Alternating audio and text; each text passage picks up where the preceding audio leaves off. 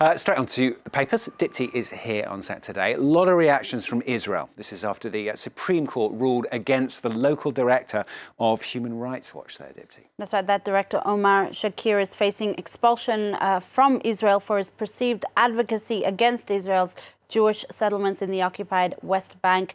Uh, it's on the front page of the Jerusalem Post now. Uh, it's actually uh, rather not the Supreme Court, but the High Court, Stuart. Uh, for Israeli authorities, this amounts to um, support for the Palestinian boycott movement. Human Rights says it will appeal the decision. Um, there's an article in uh, the Jerusalem Post today that says this case is doubly complicated since much of um, uh, Shakir's advocacy was through Twitter. So, will the High Court um, ruling usher in a new age of Israeli policing social media as well? Or was this just an exceptional case against uh, this man in particular, Shakir? That's a question being asked by the Jerusalem Post in this article today.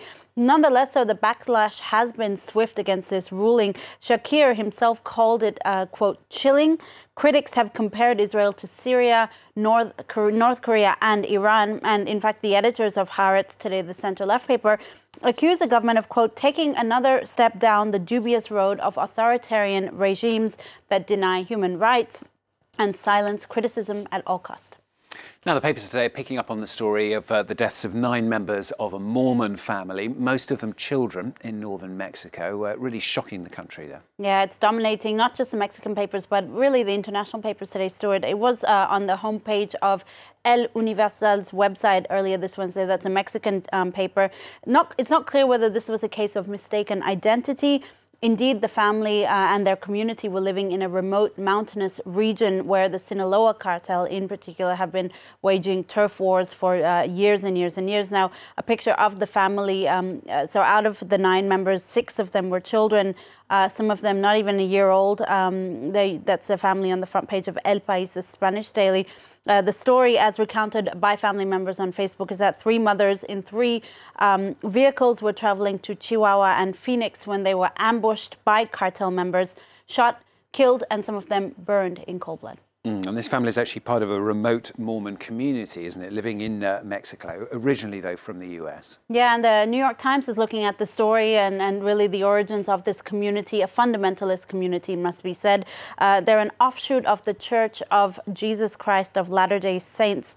Uh, they actually headed south to Mexico decades ago to practice polygamy after polygamy was outlawed by the church. The community today are mostly successful farmers raising children who are dual citizens citizens uh, living as an observant religious community. More recently, though, the Times says they have faced new challenges from cartels, particularly with cartels taking control of gasoline, which has uh, affected their farming uh, and uh, just growing dangers and around their security. That's le led to some families leaving back to the U.S. Uh, for the editors of the Wall Street Journal, it's likely that the deaths were indeed a warning from the cartels to everyone about who's in charge in Mexico, and this is obviously a big issue. Um, the Wall Street Journal evoking what it calls a cartelization of Mexico, but notes also that American drug users using the drugs from this trade, from this drug war, are just as complicit in fueling this quote wanton violence.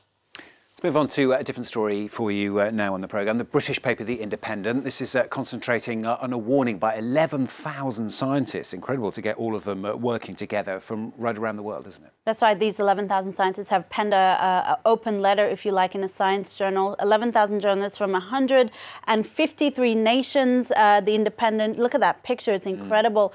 Mm. Um, basically, a, a warning, an unprecedented warning about the future of humanity as they declare a global uh, climate emergency. Uh, one U.S. Uh, professor spearheading the letter uh, saying that despite 40 years of major negotiations, we have failed to address this crisis.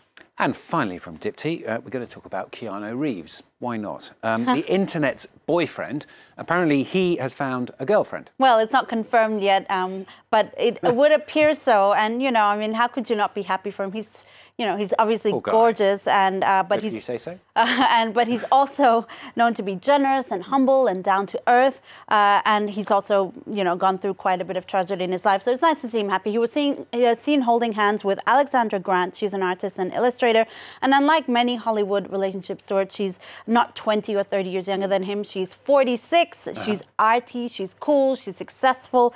Uh, she's apparently known Keanu for many years. Um, no actual conversation, uh, uh, confirmation rather, on whether they're dating, but it appears that the internet's most cherished boyfriend has uh, found a girlfriend.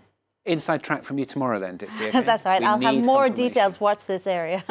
Thanks a lot. Dipti Laurent on France 24. Next half hour, we uh, hope to